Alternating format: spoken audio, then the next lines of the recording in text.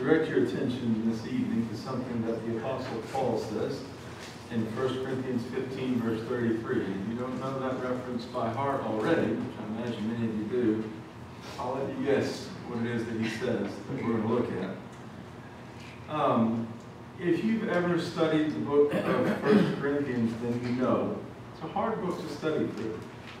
And it's not challenging because the topics are, are particularly complex. They aren't. There are a couple of verses that are uh, challenging, by and large. It's not a hard book to understand. What makes it challenging is all of the sin and conflict that's going on in the church. Um, Paul writes the letter because he's, he's learned of all of it, and he, he needs to do something about it. It's a very emotional letter. In chapter 15, he comes to the matter of the resurrection. And some of the ways in which the saints at Corinth have abandoned Jesus' teaching on the subject for the beliefs of those around them. So he says this in verse 33 Do not be deceived. Bad company ruins good morals. English Standard says, Wake up from your drunken stupor. I think some of yours will talk about being sober minded. Uh, come to your senses, is the way one puts it. I like that idea. As is right. And do not go on sinning, for some have no knowledge of God. I say this to your shame. Bad company ruins good morals. You know that quote quite well, I imagine. Um, matter of fact, your Bible may even put that statement in quotes. As you can see, it does in this version on the screen.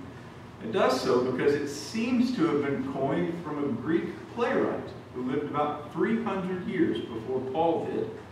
And by Paul's time, it had become every bit as much a maxim as it is still in our day. And the reason is, is obvious. It's true. It's a true statement. Bad company corrupts good morals. As a matter of fact, that Greek proverb, if you will, carries much the same effect as a Jewish proverb that Paul cites earlier in the letter. As a matter of fact, we just happened to read in the um, scripture reading from a different location there in Galatians, a little leaven leavens the whole lump. It's much the same idea. So this verse is one that, of course, naturally finds its way into Bible studies with young people. Parents and class teachers have cited this particular verse countless times talking with their teens about the friends that they make who they spend their time with. I want you to notice, though, when Paul writes this, he's speaking to the entire Corinthian congregation, and primarily, given the issue, the adults. He has said this to them as he's trying to address a problem there in Corinth that is altogether an adult problem. You have grown Christians in the Corinthian church that need to be reminded bad company can ruin good morals. So I'll just go ahead and the game plan for this evening. We are going to quickly get an idea of the particular problem that Paul's trying to sort out and the role that bad company was playing in the matter. Then we're going to consider what it is that Paul says in order to set things right. And then finally, we're going to talk about the harm that bad company can, can bring to us. Back in uh, verse 12, Paul said, Now, if Christ is proclaimed as raised from the dead, how can some of you say that there is no resurrection of the dead? So you've got some of the members of the church at Corinth that are denying in principle that something like your body being raised from the dead could ever happen. And since a major tenet of the gospel is that Jesus' body was raised from the dead, and that one day he's going to return and there will be a resurrection of all the dead to either eternal life or eternal judgment. To have some of the Christians in Corinth deny it is a big issue. So I don't know how exactly they made peace with all of this, how they continued to call themselves Christians and yet came to grips with the fact that they were discarding something quite central to Christianity, but somehow some of them had. And a part of the problem in chapter 15 is the same two factors that contribute to nearly every problem in the book. First of all, them continuing to be influenced by the world around them. And then second, failing to realize just how much that was happening. I think it's worth taking a couple of minutes to just explain why on earth would the, the Corinthian Christians ever deny the resurrection to begin with? If you think about it, it's quite central to Christianity. It has everything to do with the hope that we hold and, and the day that we're waiting for. So why would somebody deny it? Well, certainly one reason for this problem, as with all the rest in the letter that Paul has to address, was the Greek culture around. So the Stoics and the Epicureans of their time denied flat out that there would ever one day be something so silly as a bodily resurrection. Meanwhile, Christianity affirms it blatantly. So the Greeks called that foolishness, this idea of a, of a future resurrection of the dead. And they weren't the only ones to deny that, as you know, back even before the time of Jesus with the Jewish Sadducees. They ridiculed the idea of a resurrection, and the Greeks mocked the idea too. Part of the reason that the Greeks denied it is because their idea of a bodily resurrection and God's idea of a bodily resurrection were dramatically different. So, to the Greek way of thinking, the body is frail. Yes, it is. And there are very few that somehow find a way to die young and strong and also whole. So, who wants to have their spirit cast back into the shackles of age and pain and injury and frailty and then take those things with them into the afterlife? That was their idea. And that might seem kind of bizarre to us, but there's a lot about the resurrection that, that has been revealed to us, and we just kind of take our understanding of it for granted sometimes. Which is not to mention the fact that as, as far as the Greeks were concerned, not only did they have an odd idea of the resurrection, the wrong idea, but also as far as they're concerned, nobody has ever seen somebody who's died come back to life. Now that's not actually true. People by that time had seen people come back to life, even before the time of Jesus. As far as the Greeks are concerned, they had. So the resurrection is just silly to the people of Corinth. And even though the Corinthians to whom Paul is writing were Christians who had accepted the good news that Jesus is King and put their faith in Him, nevertheless, they're still in many ways a product and a part of their culture. Every Christian brings with them the baggage of their culture and their upbringing, and the Corinthians did that as well. The thinking they'd grown up with, the worldview they'd formed, the friends they'd grown up with, and the influences that gathered around themselves. So now, even though they're not giving up Christianity, at least as far as they're concerned, they are denying a major component of Jesus' teaching, major claims that their own king had made. It may also be that there was an additional factor at play here, and that may just be simply their own sinful desires and lusts. Uh, if you recall back in chapter 6 of 1 Corinthians, you remember there are those who believed, as, as many Greeks did, that the physical body and the spiritual soul within were completely separate which meant you could commit sins with your body. Like fornication, you could engage in the, the social activities all associated with the local worship idols, the frequenting of temple priestesses that you see in chapter 6, the, the eating of the meats and things that are offered to the idols as you see later on in 8 and following. You can spend your physical life right in the middle of everything that you're supposed to have left behind, and none of that matters because you are just simply giving the body what it needs. Remember, the, the food is meant for the body and the body is meant for food was their kind of line of, of thinking in, in 1 Corinthians 6. But meanwhile, your mind and your heart belong to the Lord, so everything's okay. And then there's going to come a day when the material becomes immaterial. And then the spirit, your psyche, is going to be all that remains, and it will be utterly unmarred by any of the acts of the flesh. However, if on the other hand, the physical body is not to be simply cast off, but instead it's going to be raised and transformed. Then it matters. And it has value. And you don't have that same unbreachable separation between the spiritual and the material, and now you have to consider what it is that you do in your body. Which is something Paul addresses back in chapter 6, what you do in the body matters. Food is made for the stomach, and the stomach is made for food, meaning we're just using our bodies for what they're there for. And God says, or Paul says, no, God made your body. And he didn't make it for stuff like that. So, for whatever reason or reasons, you have some of the Corinthians denying the resurrection. And Paul responds to that, and it takes up pretty much all of chapter 15. To sum that up very quickly, first things first, if it is true that someone cannot be raised from the dead, if just in principle that sort of thing is not possible, then even the resurrection of Jesus is not possible. And Paul asks them, Do you realize the implications of this new belief of yours? To take this position means you have to reject one of the most fundamental things I've ever taught you.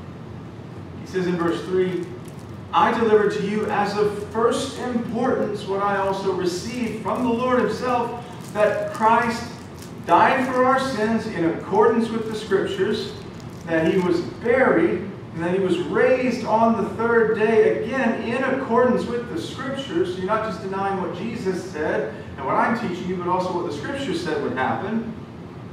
And then after that, he appeared to hundreds of brethren. And Paul says that is one of the first things I ever taught you because everything hinges on that. And if resurrection is just a foolish notion, then everything you've ever been taught about Jesus is a lie. And he says there in verse 12, he says, You guys need to understand, once you tip over this domino, all the rest go with it. So, verse 12. Now, if Christ is proclaimed as raised from the dead, how can some of you say that there is no resurrection of the dead? If there is no resurrection of the dead, then not even Christ has been raised. And if Christ has not been raised, then our preaching is in vain, and moreover, your faith is in vain. And then along with that, you got a few more implications. Verse 15. We are even found to be misrepresenting God. Because we testified about God that He raised Christ, and He didn't raise Him if it's true that the dead are not raised. For if the dead are not raised, not even Christ has been raised. He reiterates that point. And then it just keeps going. Verse 17. If Christ has not been raised, then your faith is futile, and you're still in your sins. And then verse 18, if Christ has not been raised, then those who've fallen asleep in Christ have just simply perished. Those who died in him have just died. That's it.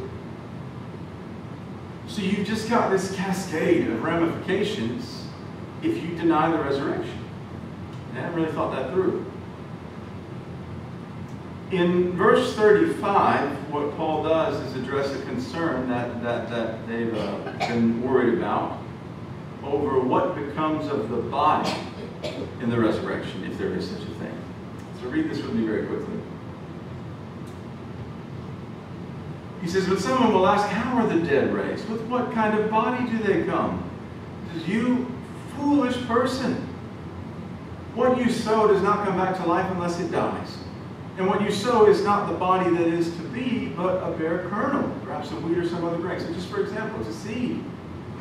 But God gives it a body as He has chosen, and to each kind of seed, He gives it its own body. For not all flesh is the same. For there is one kind for humans, another for animals, another for birds, and another for fish. And then he looks beyond. There are heavenly bodies and earthly bodies. But the glory of the heavenly is of one kind, the glory of the earthly is of another. There's one glory of the sun, there's another glory of the moon, there's another glory of the stars, and even star differs from star in glory. The point is, all the different bodies that God has made, all the different animals, all the different fish, all the different birds, all the different plants that first existed as a seed and then become something else entirely. Then you think of all the different heavenly bodies and then the earthly bodies, to look at the geography of this earth, but then to look to the heavens and see all there is to behold. He says, and not even star differs from star. So many different bodies that God has made, each one of them fit for its purpose and environment, and you're worried about your body in the resurrection? Paul says, it's foolish. That you're thinking this way? Why are you worried about that? He's made the point about seeds that vary and then become a different form, and he says in verse 42 that just like that seed that you bury, it turns into something completely different. Paul says, so it is with the resurrection of the dead. What is sown is perishable. You bury a body that's perishable, but what is raised will be imperishable. It's sown in dishonor, it's raised in glory. It's sown in weakness, it's raised in power. It's sown in natural body, it's raised in spiritual body. What are you worried about?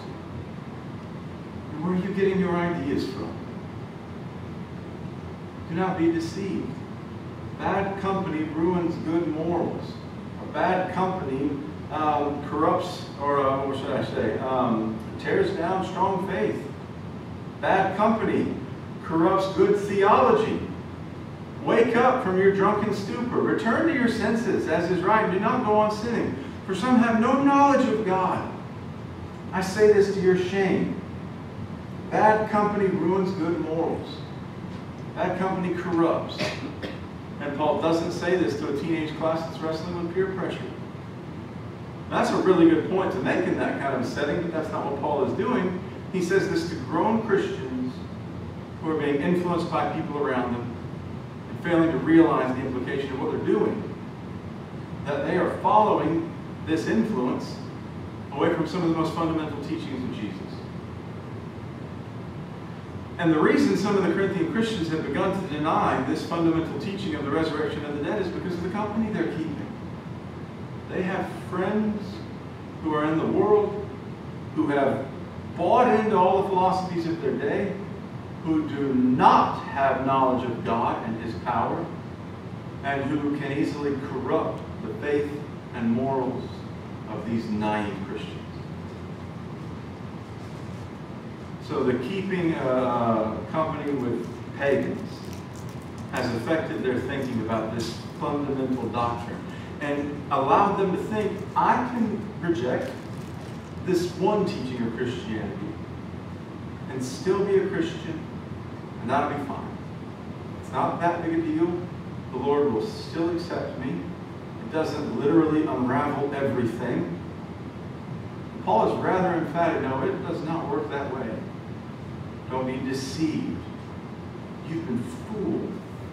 Bad company ruins good morals. You need to wake up, stop sinning, and, and, and um, appreciate that there are those who have no knowledge of God.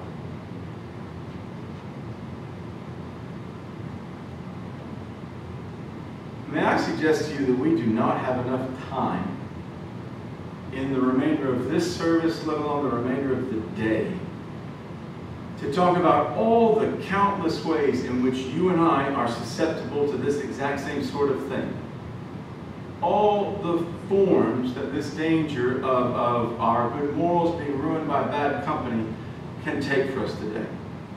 So just to give you an idea, think of all the differences between the teachings of Jesus and the beliefs of the average 21st century American. Or think of all the differences in the teachings of Jesus and all and the beliefs of even the average 21st century American who professes to be a Christian. And at every single one of those points lies the exact same potential for corruption. And that danger of exchanging the truth for a lie and denying what Jesus and his apostles have taught for the beliefs of those who have no knowledge of God or who don't have enough knowledge of him. When I think back to my time in grade school, you know, talk about this passage being something that was used when, when you're young. Um, I think back to the temptations that I had to face. Maybe that temptation, you might say, to go along to get along. You want to be like your friends. You want to do what they do. Some of it was like fun. You just want to be a part of it. You don't want to miss out. And you not necessarily want to stand out. But aside from that, I don't know how things work for you all, but you know what I had to avoid in grade school? Drugs, alcohol, filthy language, and moral activities. That's about it. I didn't have to deal with those things and also have progressive values shoved in my face every moment of the day. I was surrounded by teachers and friends continually telling me that homosexuality is love like any other love, that gender is a social construct, and that to say what the Bible says is sin is to be hateful. I didn't have all that around me, and frequently, so as to get used to it and start compromising with God's standards and adopt the world's. But I have friends who did. And I have friends who left the Lord's church so that they could find a church where homosexuality was accepted, where gender fluidity is accepted. Bad company corrupting good morals. And here they were deceived into thinking, well, I can just reject this one aspect of Jesus' teaching and still somehow be a Christian. Um, I imagine you'll sympathize with this feeling quite a lot. It's kind of sad, isn't it? To miss the days when the main things people would leave the Lord's church for was either wanting to maybe have more entertainment or just want to do their own thing or wanting to continue on perhaps in adultery and still be accepted. Like, those were the days. And it's kind of sad. Bad company corrupts good morals. And there is so much bad these days that pitfalls are scattered about like a minefield.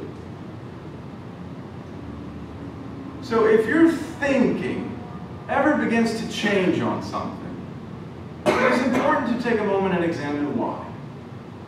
It is true that, that whether you are young, especially in that case, or whether you are not, you will never stop learning.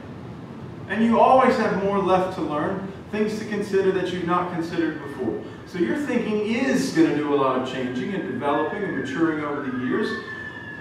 But especially if you notice a shift in your thinking with regard to something you've previously believed God's Word says, or something to do with what God says is right or wrong, if your thinking on those things begins to change, you need to examine why. Is it because of a deeper study of the Scriptures? Okay then. Or is it because of the company you keep? There is, of course, nothing wrong in hearing what someone who would challenge your beliefs has to say. Nothing wrong in considering the challenge that they may pose to your beliefs. You and I are in a search for the truth, are we not? Someone once said, truth, if it is truth, can withstand the closest scrutiny. And after all, when we go to somebody who we believe is not following the Bible correctly, we are asking them to examine with scrutiny their very beliefs, and it's not very uh, honest to not be willing to do the same. But as Paul said, don't be deceived. Which means don't change your mind on something in the Bible because you want to. Change it only when you have to. Because Scripture forces it. Because deeper study and more knowledge of God has shown you that your previous conclusion was wrong. You never want to change your belief because of those who have no knowledge of God. Psalm 119, verse 11 says, I have stored up your word in my heart that I might not sin against you. And there's your safeguard. So if, if people lacking a knowledge of, of, of God could corrupt the Corinthians such that they didn't even realize they were denying a fundamental tenet of Christianity, if they can be corrupted, so can I. So then that begs the question of who do I spend my time with? Because those are going to be the kind of people who are going to have that, the most impact on me, be it for good or for bad. And sometimes the impact that they have isn't nearly as overt as the previous examples that we were citing. For example, maybe it's their temperament. Their temperament. Proverbs 22 verse 24. Do not make friends with a hot-tempered person. Do not associate with one easily angry where you may learn their ways and get yourself easier. My friends are regularly impatient and regularly angry about things and regularly rude to others. It's going to rub off. Philippians 4, verse 5 says we're supposed to let our reasonableness, or your version may say gentleness, be known to everyone. That's how we're supposed to be. There's some people that aren't very gentle. We need to spend the majority of our time with people like that. Or the uh, corrupting influence may come from our uh, friends' maturity or lack thereof. Proverbs 13 and verse 20, and then 14 and verse 7.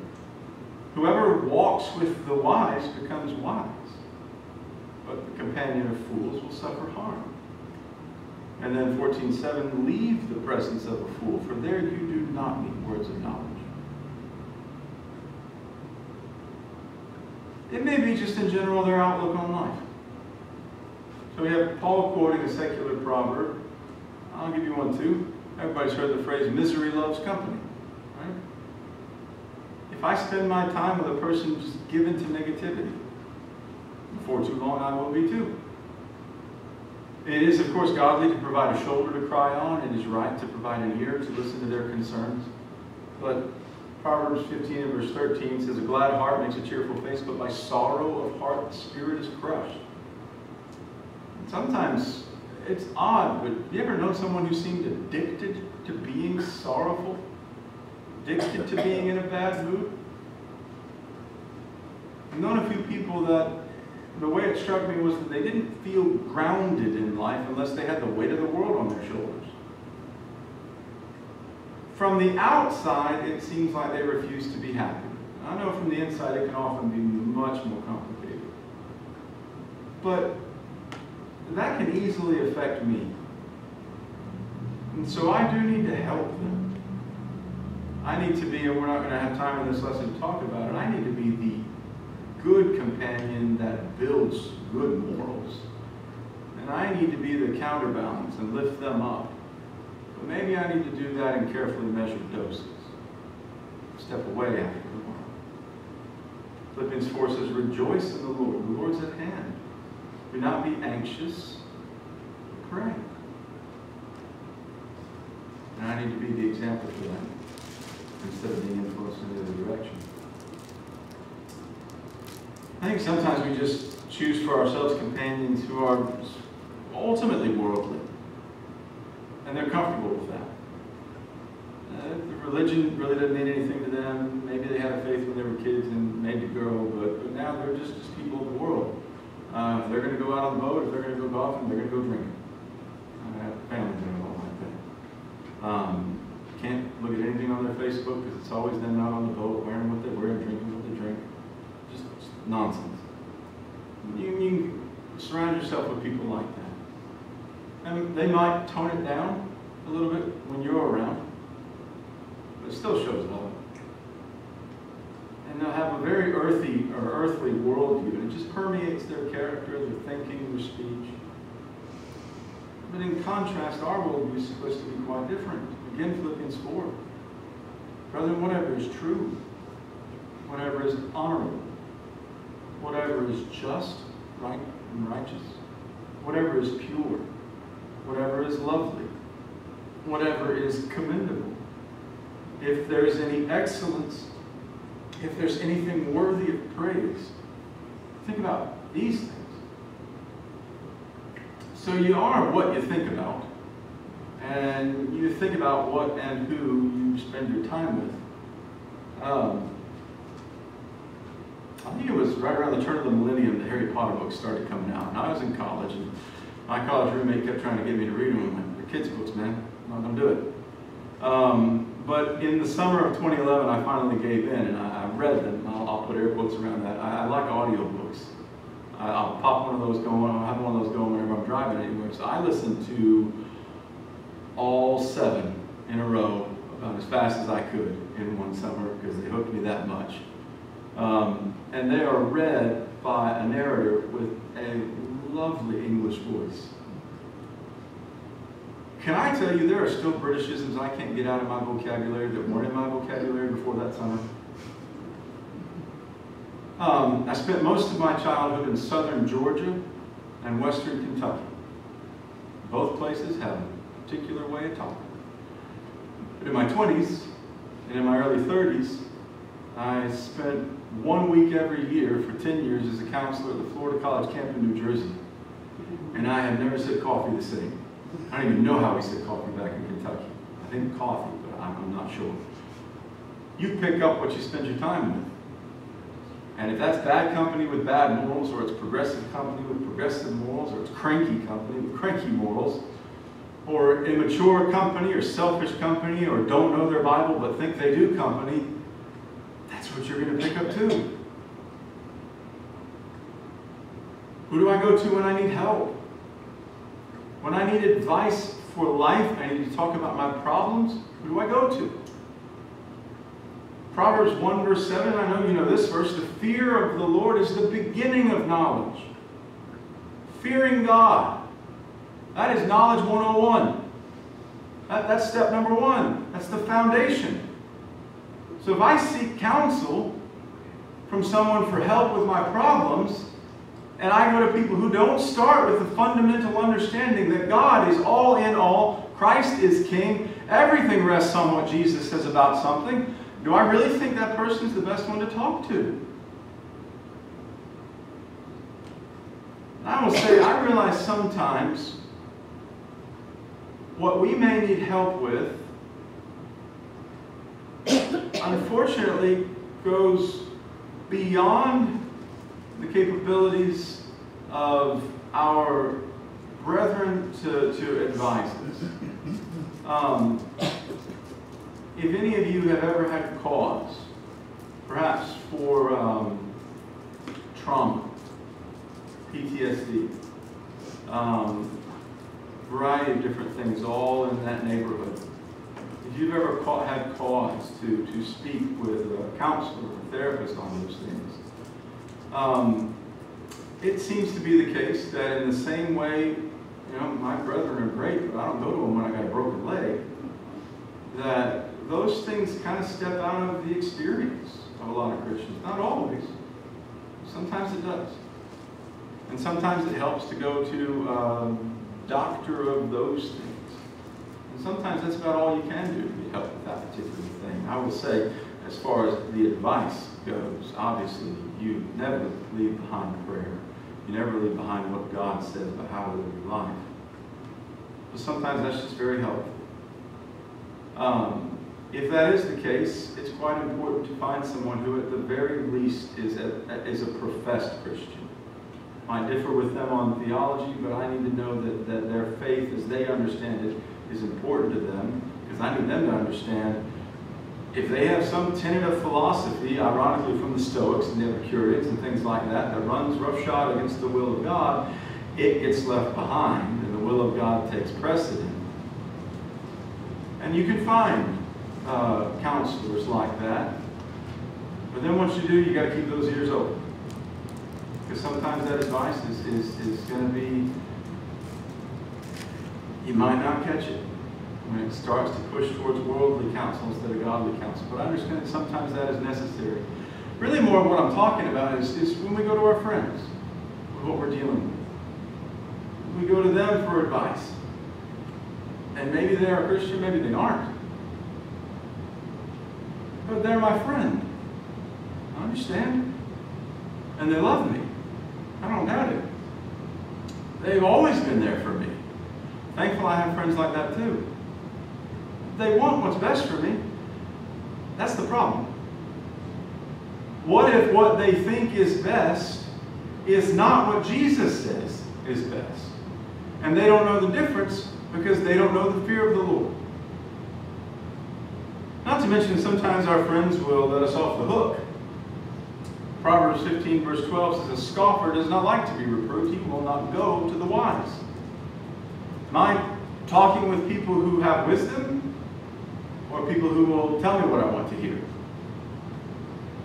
And then I especially love what Hebrews 5 and verse 14 brings to this discussion. This is the passage of, by this point, brethren, you should be teachers already, but you have need to be taught the fundamental principles of the gospel again. You need milk and not solid food. Verse 14 is when he talks about those who are well versed in the Scripture and who, in fact, are, are capable of being teachers to others. Listen to this and think about it in this context. Solid food is for the mature, for those who have their powers of discernment trained by constant practice to distinguish good from evil. Someone who has lived the Word of God in scenario after scenario and can tell you from experience how to go about things. You go to people like that. Can you imagine what company like that can do for our morals and for our judgments and our choices and our temperament and our thinking and all of that? So do not be deceived. Bad company ruins good morals. Wake up from your drunken stupor, as is right, and do not go on sinning. For some have no knowledge of God. And I say this to your shame. Corinthians had reason to be ashamed. If they're so easily swayed from the teachings of Jesus by thinking of their friends, they have reason to be ashamed. I don't know, but maybe you have cause to be ashamed too. Maybe it is that you have stored up God's word in your heart that you might not sin against Him, that you might not be pulled aside by the, the thinkings of your companions. Maybe that the company you keep is, is making a ruin of what the word or what word of God is in your heart. And it's chipping away at your faith and all to your shame. If that's the case, then as Paul says, it's time to stop being deceived and wake up and stop sinning. Sometimes the, the company that we keep can, can keep faith from taking root to begin with. Someone who's not yet become a Christian because their, their worldly friends coupled with their own worldly desires keeps them deceived and keeps them deceived and keeps them from a knowledge of God. It doesn't have to do that. You've got to persuade that person to wake up, do what's right, no longer go on sinning, and come to a knowledge of God. And they need to start by accepting matters of first importance. Jesus died. Jesus was buried, and on the third day he rose. And you need to put your faith in him. You need to die to sin with him. You need to be buried with him in baptism so that one day you can be raised with him. And that's the message we need to take to people in those positions. But if perhaps you are in the former, and the association friends you've been spending time with lately have infiltrated your faith and begun to erode its foundation. I hope you will repent of that, recommit yourself to the Lord, wake up, stop being deceived, stop sinning, and renew your knowledge with Him. If we can encourage you in that regard, we would love the opportunity to. Stand. Have my affections the cross? Yes, my heart cries with God.